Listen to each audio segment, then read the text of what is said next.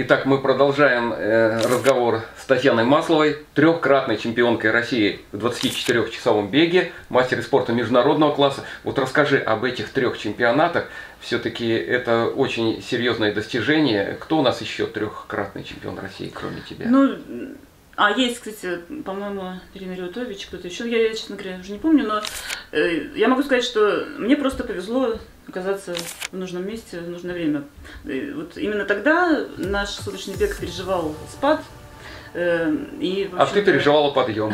Не было достойной конкуренции. Вот в 2011 году, когда я первый раз стала чемпионкой России, мне удалось вы, выиграть вообще с, с смешным результатом 201 километр. Действительно. То есть э, я, опять же, как сказать, у меня была цель э, стать мастером спорта. Мастер спорта на тот момент был как раз 200 километров. С тех пор, вот пару лет назад повысили нормативы, теперь 210. Вот. И поэтому я, опять же, спала в палатке. Я еще несколько раз спала по ходу суток там. Ну, в общем, отдыхала. У меня не было никаких, никаких помощников. Я там То есть ты не намучилась? Сама. На этот ну, результат. не сказать, что я совсем не намучилась. Конечно, это все равно встряска там ну, естественно, в конце ты поработала, наверное. Но, в общем, после того, как э, я преодолела свои 200 на последнем часе, наконец, я просто села на стульчик и сидела время. То есть у меня, у меня не было никаких вот таких амбиций. То есть теперь, конечно, я жалею и об этом э, чемпионате и о других своих выступлениях, ну, почему я не выкладывалась, почему я себя берегла, но может быть, это продлевает все-таки жизнь в спорте, в сверхмарафоне. Вот, э, например, э, сейчас Патриса Березновская, говорят, себя так загнала, что уже не может э, конкурировать за первое место. Но есть такое мнение. Вот ты как считаешь? По поводу Патриции, да, я читала это мнение, это высказал Максим, Максим Воробьев. Я не совсем согласна. То есть Речь о чемпионке мира да. Патриция Березновская – это рекордсменка мира, э, бывшая. бывшая. Есть, к сожалению, да. да, хотя у нее очень э, крутой результат, она недолго пробыла рекордсменка мира, всего там полтора года, насколько я помню. И потом э, Камила Херон из э, Соединенных Штатов сильно превысила ее достижение. Сейчас оно составляет уже 270, 270 сумасшедшие километров. А у Патриции было 259. Э, ну, то есть, и 9 десятых. Почти, да, почти 260. Вот.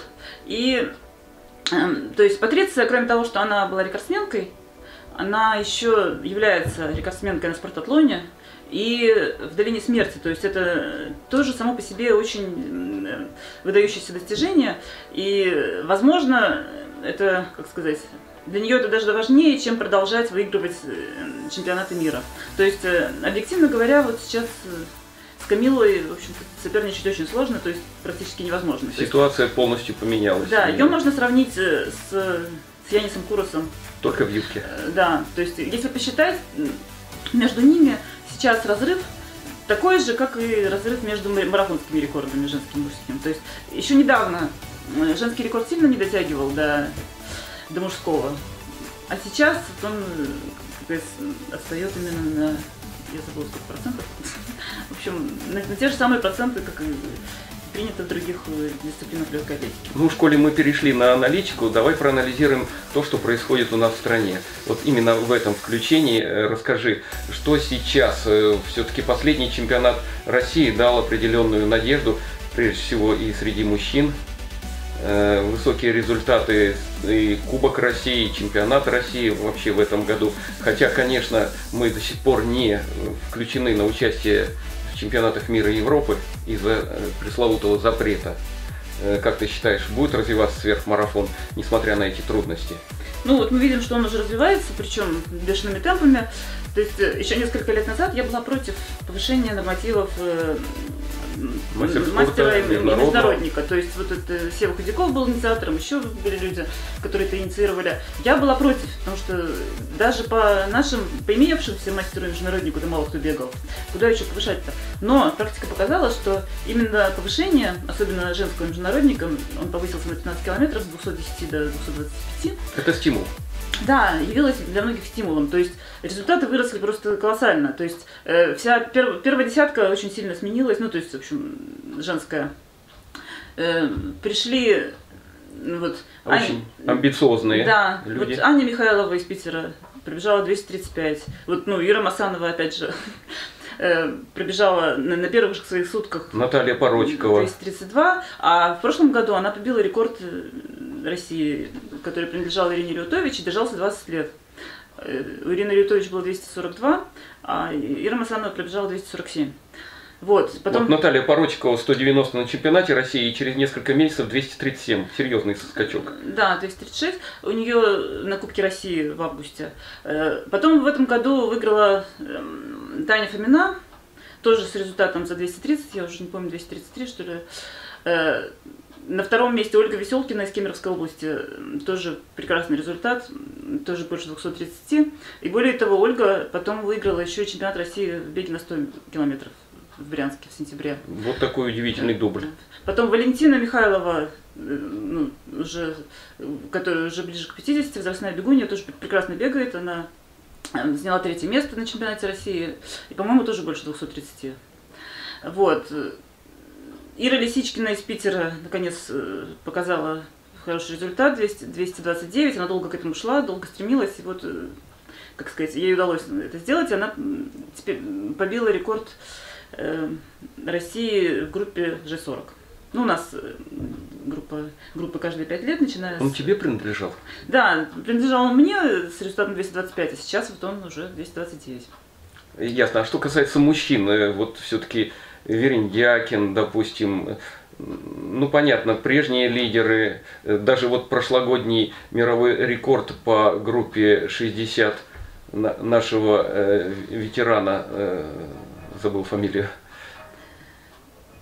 А, ты имеешь в виду Юрия Галкина, наверное? Галкина, да. Галкина Юрия. Вот последние два года мужчины тоже достойны Да, у мужчин результаты тоже выросли.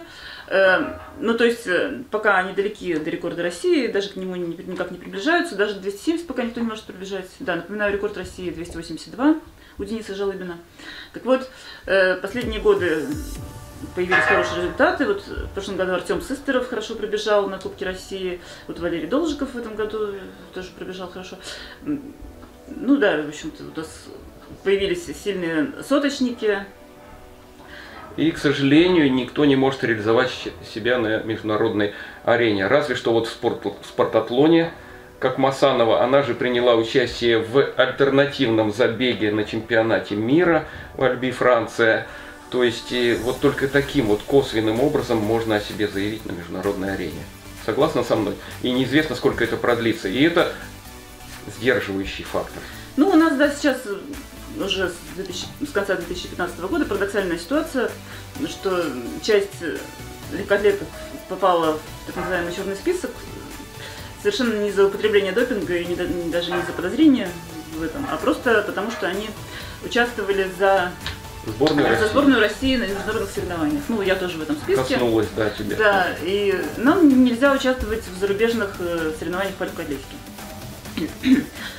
И но, но, к счастью, вот появляются люди, которые пришли позже, и, и они могут участвовать в некоторых гонках. Вот, например, вот Ира Масанова участвовала в спортатлоне, э, заняла там второе место дол- долгое время была первая, потом ее в конце обогнала венгерская спортсменка. А еще она поучаствовала в так называемой открытой гонке в Альби. Был чемпионат мира недавно. И выиграла ее. Да, и э, наши спортсмены не могут принимать участие в чемпионате мира даже в нейтральном статусе. То есть ни у одного сверхмарафонца нет нейтрального статуса. Потому что для нейтрального статуса нужно состоять в допинговом пуле и несколько раз в год сдавать допинг-пробы. А на это нет денег у нашей федерации, ну и у самих спортсменов тоже. Поэтому вот она поучаствовала в открытой гонке, ее выиграла, но вот как-то заявила о себе. То есть... Э, Какой ты видишь выход из этой ситуации? Допустим, еще на несколько лет продлится отстранение. Где можно участвовать? И как быть тем, кто вот засветился в составе той сборной России? Нигде. Э, есть вариант, и ты его реализуешь. Ну, да, мне опять же повезло, что я занимаюсь с некоторых пор сверхмарафонской спортивной ходьбой. И там вот меня допускают на французские соревнования. Но опять же это произошло не сразу. В шестнадцатом году мне тоже запретили участвовать во всех французских соревнованиях. Но потом вот в 17-м разрешили, я с тех пор опять участвую. Беспроигрышно. Очень счастлива, да. Так получилось. Не занимала ни разу даже второго места с 15 -го года. Это соревнование вот от суток и больше. Э, но э, завершая разговор об отечественном сверхмарафоне, все-таки, э, как ты считаешь, есть еще один сдерживающий фактор? И не надломит ли вот то, что наши спортивные ведомства почти не помогают спортсменам, все приходится делать за свой счет, препятствия чинят к тому, чтобы быть заявленным на участие в чемпионате России? Речь о разрядных требованиях и прочих. Как ты считаешь, вот эти внутренние препоны, они э, сильнее, чем э, зарубежные наши ограничения? И не погубит ли это окончательно наш сверхмарафон, суточный бег в частности? Ну, если ты имеешь в виду вот это ограничение, что сейчас на чемпионат России можно заявиться только имея первый разряд оформленный, то сейчас как раз ведутся переговоры о том, чтобы это смягчить. Ну, Тимур Пономарев, опять же, работал в этом направлении недавно. Но мне кажется, что если человек очень хочет, он то пробьется. он пробьется, да. То есть можно участвовать в параллельных соревнованиях сутки бегом и ну, ну и просто человек не может быть не фанатиком, если уж он вышел на старт суточного бега. Mm-hmm. Он пробьется туда всеми возможными способами. И невзирая на затраты. Наверное, так, да? А таких людей у нас в России, наверное, много. Как ты считаешь? Да, но кроме того, вот сверхмарафон, он все-таки традиционно был в основном любительский. И большинство сверхмарафонцев где-нибудь работают, получают деньги на основной своей работе, и многие из них могут позволить, ну, по крайней мере, современных сверхмарафонцев, съездить на зарубежные соревнования за свой счет. Безусловно. Но э, все-таки, заканчивая вот этот отрезок, Э, как ты все-таки считаешь, сверхмарафон – это серьезный эм, момент пропаганды вообще бега, ну пусть не самого здорового образа жизни, как некоторые посчитают, хотя я считаю, что это самые здоровые люди в стране, те, кто бегают сутки, не отдыхая. Это очень здоровые люди, у них огромный запас прочности, их сердца огромные, развитые. Э, все-таки момент пропаганды. Люди обычные смотрят, даже начинающие бегуны. Люди бегут сутки. Неужели я не пробегу марафон? Вот как ты считаешь, в плане пропаганды необходимо развивать сверхмарафон? Нет, тут, тут неоднозначно все. Я, как сказать, хотя я много писала о сутках и, в общем, в некотором роде их популяризировала, и я не считаю, что нужно это пропагандировать. Но это не массовый вид, скажем То так. есть это все-таки огромная нагрузка на организм, это износ организма. Э, и, в общем, очень, очень плохо действует на опорно-двигательный аппарат. Практически у всех сверхмарафонцев какие-то проблемы с суставами.